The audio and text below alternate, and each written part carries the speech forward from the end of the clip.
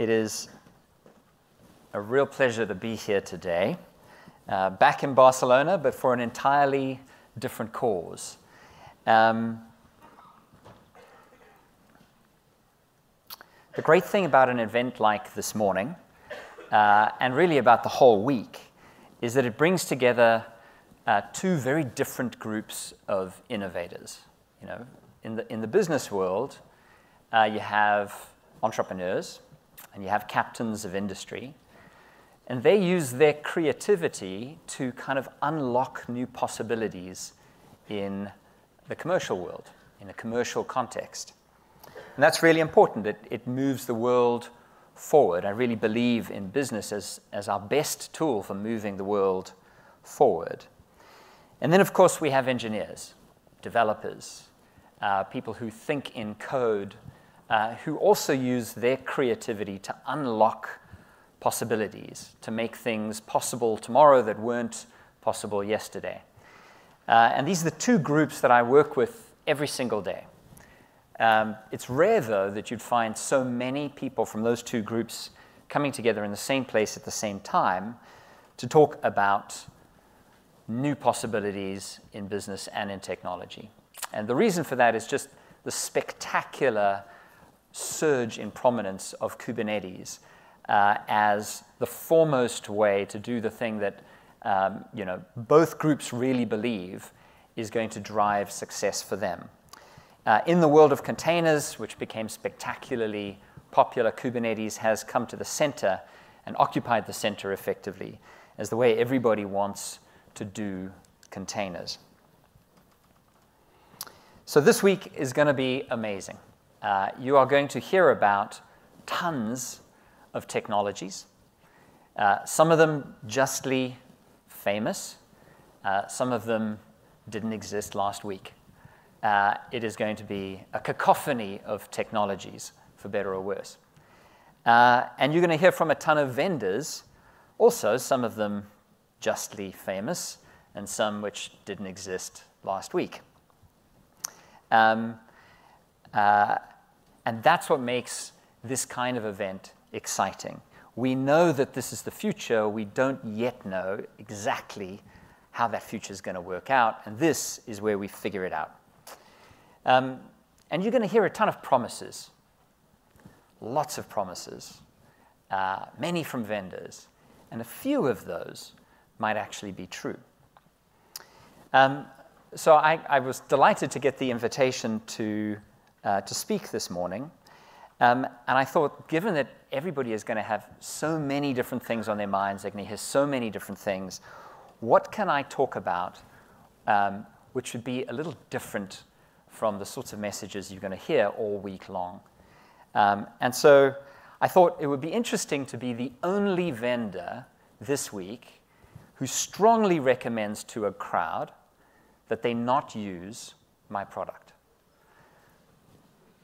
So that may sound poquito loco, but a little later today, I'm, I'm going to tell you not to use my product and exactly why it makes business sense not to use my product. So, for me, the reason this is really an exciting week is that this is the biggest open source event in history. Uh, and, uh, you know, I had the spectacular, the, the wonderful opportunity uh, very early in my professional career to be able to choose exactly what I wanted to do. And what I wanted to do was accelerate the world's move entirely to open source. So to see an event like this, to see the excitement, the energy, and the gravitational force around an event like this really is heartwarming. You know, the way I do that, the way I kind of engineer the acceleration of open source, uh, a, tide that lifts all boats, um, is through Ubuntu. Uh, and really in Ubuntu, you know, people sometimes say, you know, how did Ubuntu, where did Ubuntu come from? How did it go from sort of nowhere long after enterprise Linux had been formed to suddenly be everywhere? And it really boils down to three things. We do only three things, really, and we do them consistently again and again. First, we simplify open source. And then we secure it for the long term, and we invest in performance. And that's where we innovate. And the magic of that is that it essentially um, makes all open source from all of these extraordinary innovators and contributors, all of whom are brilliant or insightful in a, a very wide range of domains, it makes their life easier and it makes, it makes it easier for people to consume that open source. Simplifying open source isn't about dumbing it down. You know, when I, when I was trying to simplify access to space, um, a NASA astronaut said to me, you know, why are you doing this? You know, space is scary and dangerous and expensive. It should be, you know, a place just for the professionals. And I said, no. I said, simplifying access to space and making it cheaper is going to enable, or simplifying access to low Earth orbit and making it cheaper is going to make it possible for the really advanced people to go a lot further. And that guy is actually now signing up to lead some of the first human missions beyond low, low Earth orbit in 50 years, right? Out to the moon and back to Mars. Simplifying things and making them cheaper dramatically raises the bar for the people who, who, who, who, want to go furthest and want to go fastest. So that's why the companies that um, really take the most, make the most sophisticated use of open source do it on Ubuntu. Uh, we did it first for the desktop and that's why today there's something like 10 times as many engineers who use Ubuntu as a workstation in banks, in aerospace companies, in automobile companies, uh, as the next most popular flavor of Linux. We then worked with Amazon on simplifying this new way of thinking about aggregated compute, the cloud. Uh, and so today, the vast majority of uh, public cloud workloads across all of the enterprises on all of the public clouds are using Ubuntu because we tried to find all the points of friction that would take those, that expensive talent and slow it down uh, and remove that friction, even if we had to completely rethink the nature of the operating system for this highly dynamic world. For me, that's fun, that's innovation, and it's satisfying to see how that ra raises the tide for everybody who wants to play in this new space. Then along came containers. Um, and uh, you know, cloud changed the way we think about the data center. Containers are changing the way we think about the application. You know, Kubernetes is completely different to a cloud because the application is much more deeply woven into the fabric of Kubernetes, and Kubernetes is much more deeply woven into the fabric of the application. You can think of Kubernetes much more usefully as a message bus between the components of the application, setting standards for communication, interoperability, and so on. It's very clear when you look at the surging um, amount of R&D around um, meshes, service meshes. By contrast, you know, an application could be completely oblivious to the fact that it's running on a cloud at all. So this new wave represents something fundamentally different at the application space. But it's complicated. And a lot of those complications stand in the way of, of the real point of all of this, which is to make developers more productive, to make teams more productive, to bring the future forward faster. Um, so we chose not to try to build our own container orchestration system um, very deliberately because we figured that open source would lead naturally to a consensus set of APIs. And today I think it's very clear that's Kubernetes. We chose to focus on the points of friction in containers effectively underneath containers and inside containers. And so that's why today, if you look across the whole sort of Docker apocalypse, right, the, the entire landscape of all things Docker, um, you'll find the majority of, of what, what people put inside their containers is Ubuntu. And again, if you look at the many different um, uh, distributions of Kubernetes, the majority of them will use Ubuntu underneath, which creates this seamless portability and, and hybrid in, in interoperability and operations landscape, right? You really want to believe, it really needs to be true, that your developers can work on their, their workstation, they can build containers, they can move that to racks of VMware, they can then move that out to AWS, and that entire process should be completely seamless, enabling you to put your compute exactly where the data is, exactly where the economics uh, want it to be. Um, for me personally, I think the, the, the, next wave is out to the edge. where again, we're working with people like the Greengrass team at Amazon um, to simplify what's possible at the edge, right? Taking everything that we're learning from our data in um, giant aggregated um, uh, centers of compute and then pushing that out, pushing the lessons of that, the knowledge of that, the responses to that out to the edge to smart devices, whether they're self, self-driving cars, whether they're better um, switches and routers, whether they are um, uh, uh, uh, financial systems uh, monitoring transactions, you know, in store in retail environments.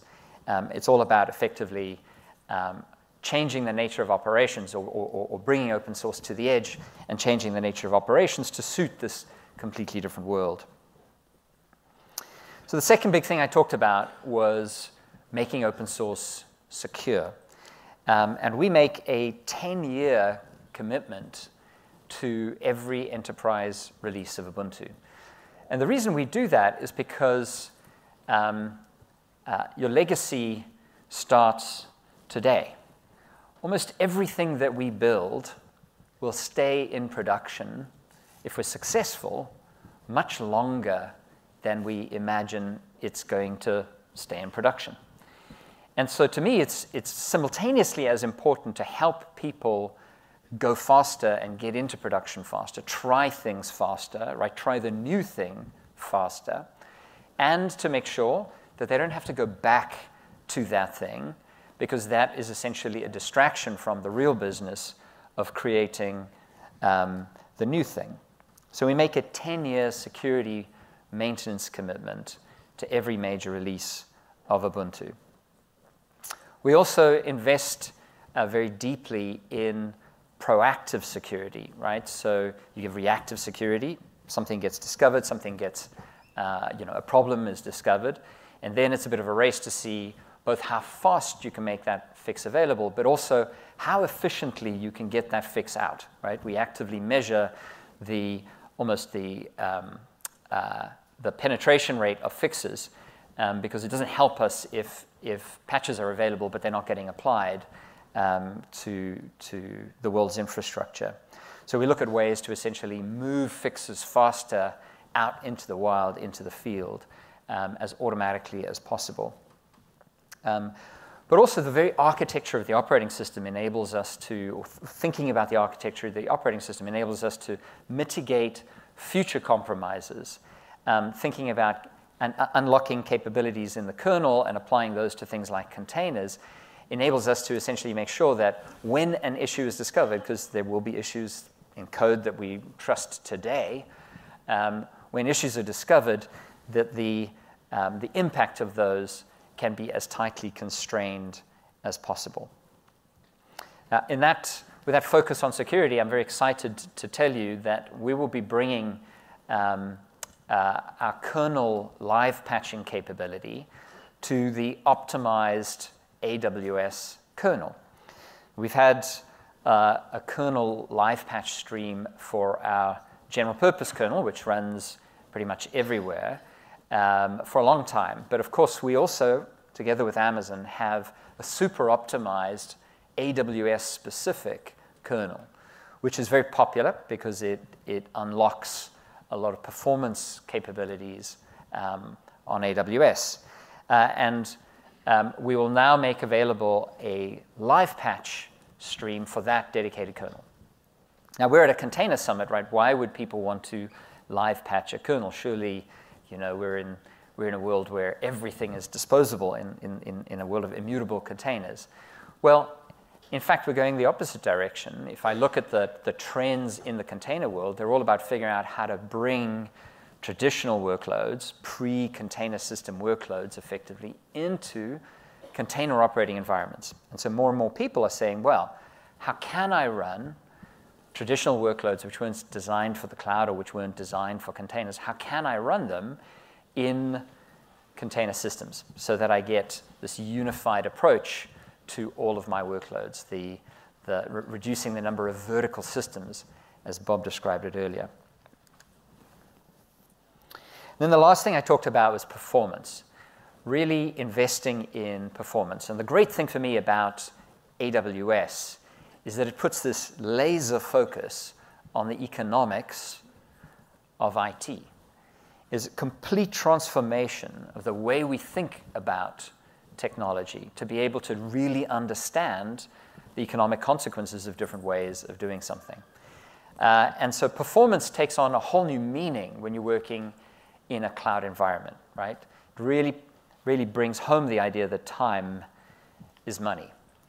Um, if we can make the entire Ubuntu estate on AWS 1% more efficient, that effectively goes directly to the bottom line for both the users, the tenants of AWS, and the cloud itself, right? So there's an enormous emphasis now on finding opportunities, taking, taking the opportunity to really super optimize important workloads. The kernel, obviously, but coming up from that, things like machine learning frameworks, any place where people are going to be moving large amounts of, uh, of data or doing anything that is performance critical or time sensitive. In that spirit, enabling GP GPUs, enabling ARM as an instruction set, for example. Um, uh, at the end of the day, the cloud does an enormous amount of work. Amazon does an enormous amount of work to, to make capabilities available. But tenants can often only or best consume that from inside a guest. And so connecting the dots there makes a huge difference.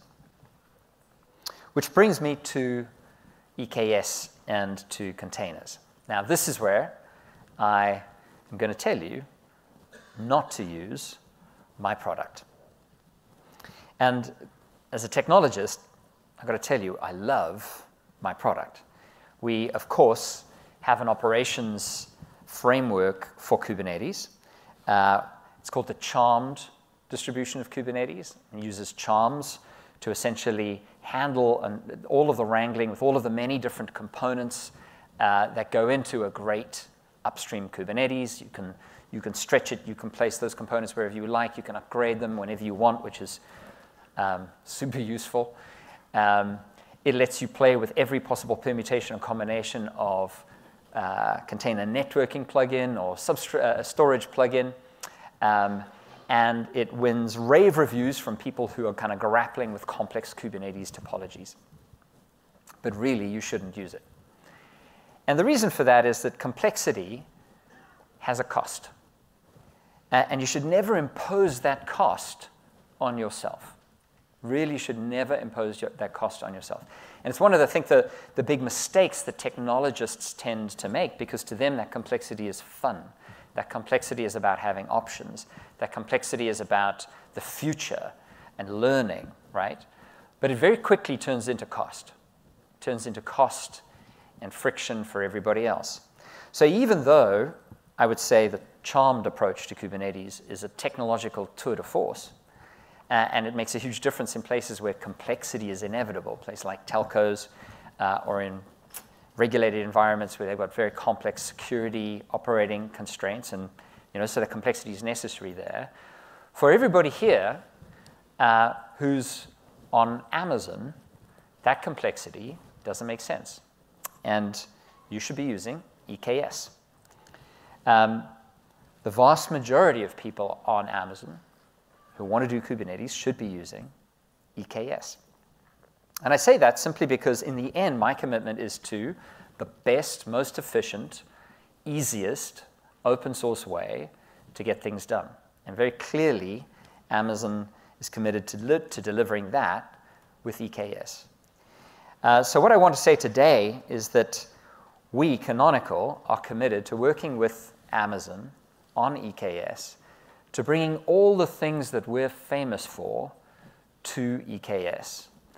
Um, simplicity, simplicity of operations, simplicity of integration with all the other kinds of things that people want to mix into their worker nodes, um, security, the long term commitment to being able to own and operate infrastructure for a long time, right? And performance, all of the benefits of the work that we do together to super optimize workload performance, super optimize the, uh, the worker performance, the kernel performance underneath it, to EKS.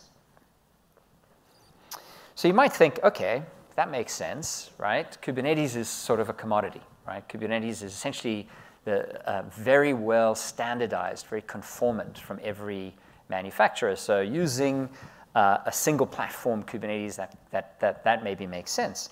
But actually, I want to go a little further for the business people in the room and talk about the cold economic argument for adopting things on your cloud which are unique to that cloud. And people often recoil from this, sort of say, oof, that smells like lock in, right?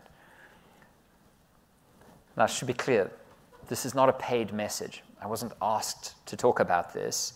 This is the advice that I give companies that I invest in, right? And the reason behind it is very coldly economic, right? Relationships are expensive.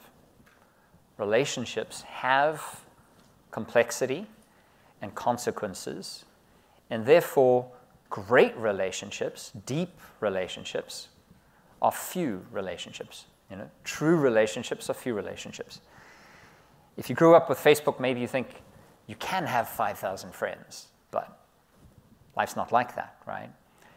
When businesses engage with a cloud, they have to in- integrate an enormous number of things identity, billing, operations, performance management.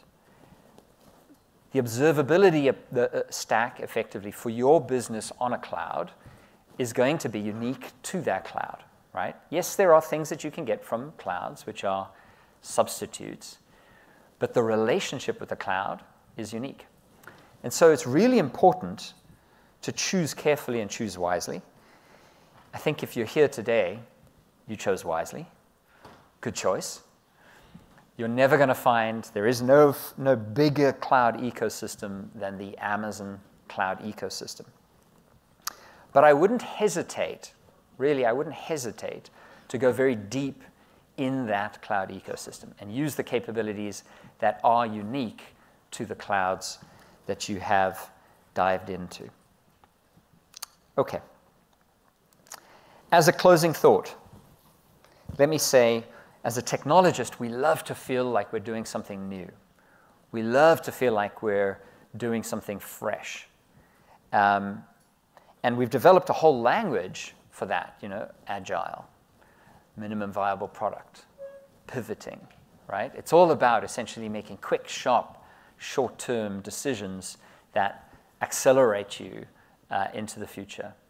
But we should be very clear that those quick little projects for today, um, that abandonment of legacy effectively back in the old data center, is really also the beginning of a new kind of legacy, right? The things we do today will be your successor's legacy.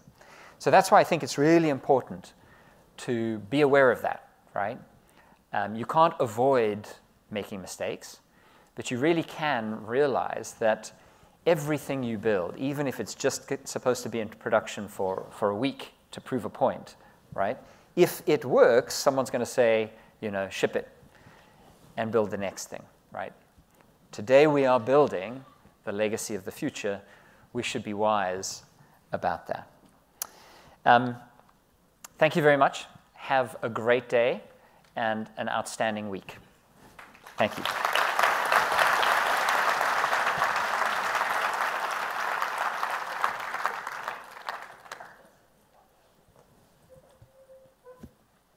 I was told not to leave the stage.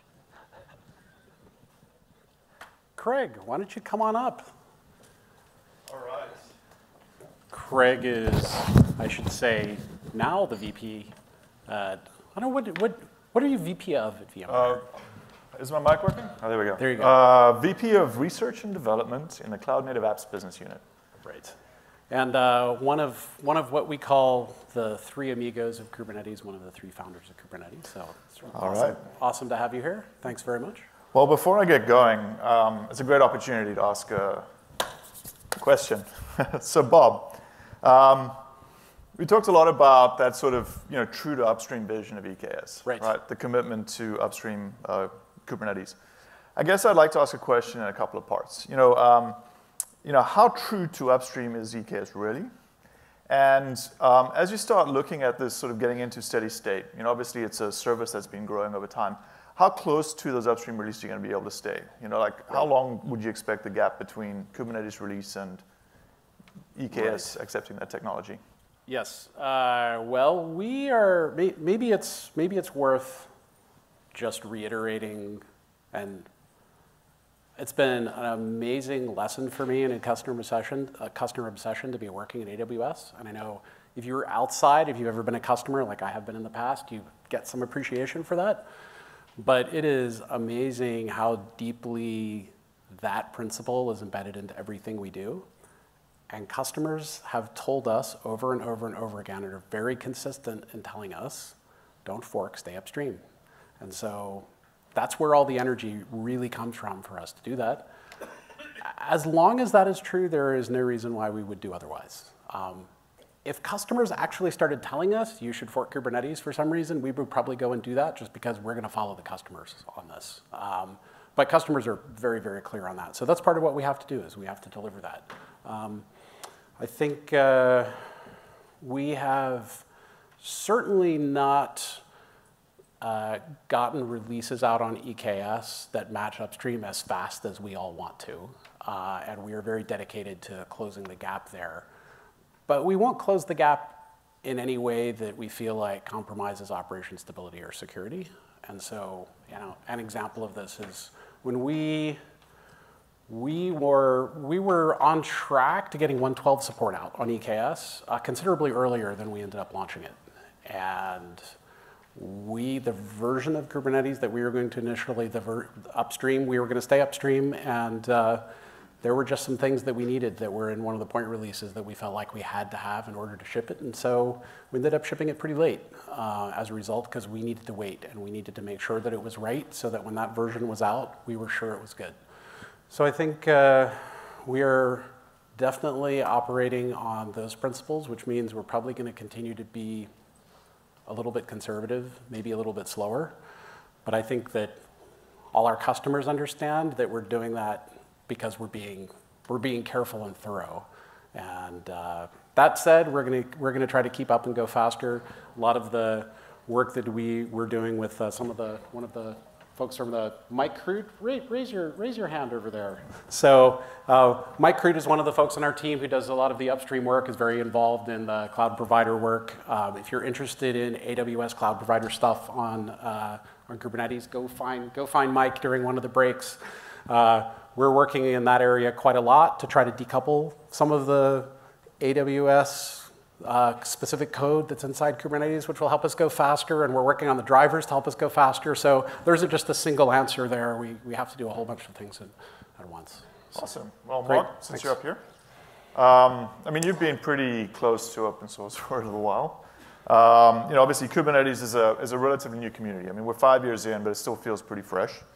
Um, do you have any key lessons that you've picked up through your journey of democratizing access to Linux and you know, sort of working in this type of ecosystem that you would like to pass on to the, uh, the Kubernetes community and things that you would, you would like to see us really sort of focus on as a, as a collective?